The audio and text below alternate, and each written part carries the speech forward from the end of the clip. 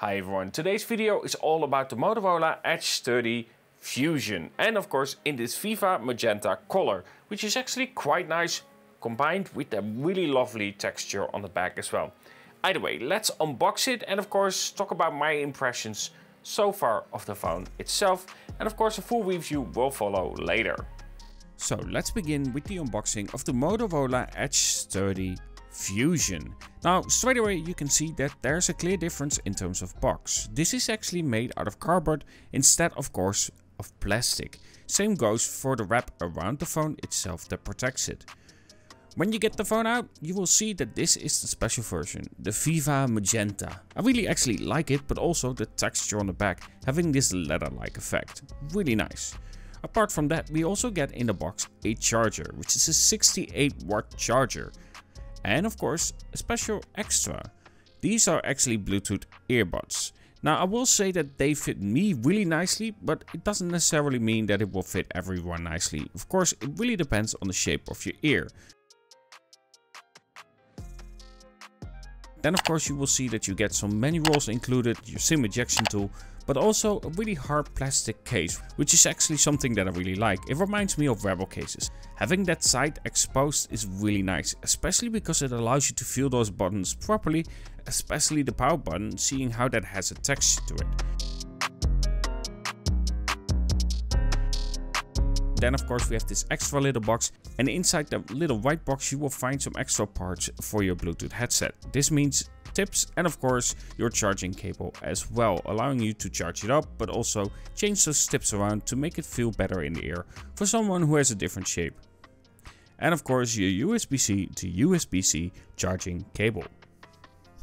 So after the unboxing, let's discuss my initial impressions so far. Now, one thing that I always like about Motorola is the software experience. It isn't the best by any means, I think, but I have some really nice features that I enjoy on it. For instance, the shaking of the phone, allowing of course the flashlight to turn on and off. When it comes to the camera, hold it down, do this, and the camera goes on, do it again, and of course the camera flips to the front or rear, it depends on where you are at, at that moment. When it comes to, however, the software experience just in general use, there are some gripes that I have with it and I still think they need to address it. For one, have multiple apps open and you want to close them all? Well, sadly you have to swipe all the way to the other side to then close all. This doesn't feel well thought out for myself when it comes to that software experience. And just like the Nothing Phone 1, the icons for the settings itself are too large. This means again that you need to do more steps to get where you need to be. With other phones, basically you have smaller icons and more on the plate itself. So you can easily manage everything that you need. For instance, Bluetooth, Wi-Fi, so on. It's just a lot easier when those icons are smaller and more grouped together instead of having to swipe the whole time to get where you need to be. Again, those big icons for me don't make sense. Then of course let's discuss the display. It's a 6.55 inch OLED display with 144Hz refresh rate. However, it can go as low as 60Hz and if you have it set at auto, it will switch between those modes to save most battery. However, it doesn't go lower than 60Hz.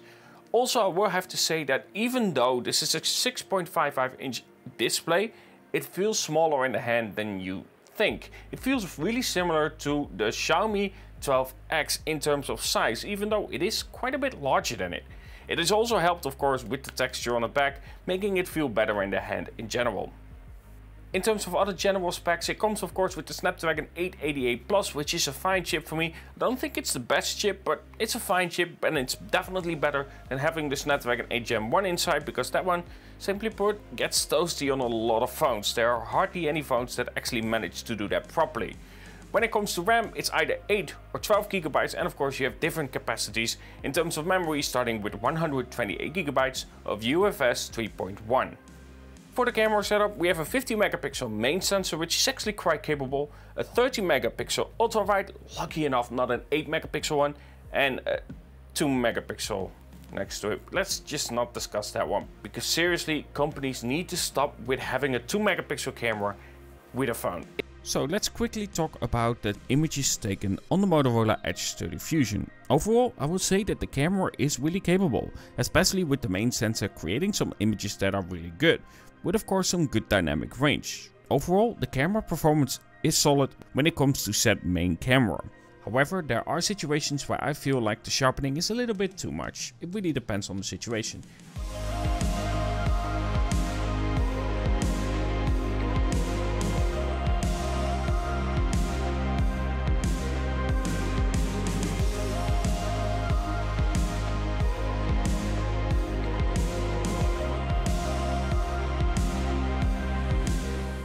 Now in low light there's a little bit of a debate because it can take some excellent shots, really solid shots. However, if it gets really tough, you can tell that it's struggling and again it will over sharpen shots, in some cases quite a lot. And therefore I feel like in low light it just depends a little bit on the situation itself. But especially with these two shots you can tell that there's a lot of sharpening going on. But then again you have some excellent shots like I showed you before with this one. When it comes to the camera video recording capabilities, it's 8K and 30 frames per second that you can do as max. And of course, it's quite useless as well. I generally don't care about 8K resolution on a phone. I rather have good quality 4K than having that resolution that really isn't useful at all. Now when it comes to battery, it's a 4400 mAh battery. Surprisingly small compared to a lot of phones, but that's also because of the thickness of the phone itself, allowing less of a battery size to be in there. With that being said, battery life has been good. Not excellent, but good. And if you do want to charge it up, you can charge it up at 68 watts, which is included with the phone itself, unlike many other brands. But not unlike many other brands, sadly there is no 3.5mm headphone jack, neither is there micro SD support. So extending your memory or listening to music via 3.5mm headphone jack, which is better than Bluetooth, it's not included which is a real shame, but not really surprising anymore. Audio quality so far has also been really good. Of course you have stereo speakers, which isn't surprising, but with that being said, every single phone treats it really differently, but audio quality has been excellent and it's pretty loud. It could be a little bit louder for my taste, but it's pretty loud. Either way, the Motorola Edge 30 Fusion so far has been a good phone for me. It's good in terms of display, it's good in terms of software apart from some things that I already stated and I do really love this feature that every phone should have. Shaking it, turning on and off the flashlight really is beneficial, especially for me because I walk up the stairs at night and everything is off here. Shaking the phone itself just allows me to see better in low light. Either way, I hope you enjoyed this video about my impression and of course the unboxing of the Motorola Edge 30 Fusion. And let me know if you have any specific questions about it so I can take it with me for the review itself. Either way, hope you enjoyed this video and of course talk to you guys in the next.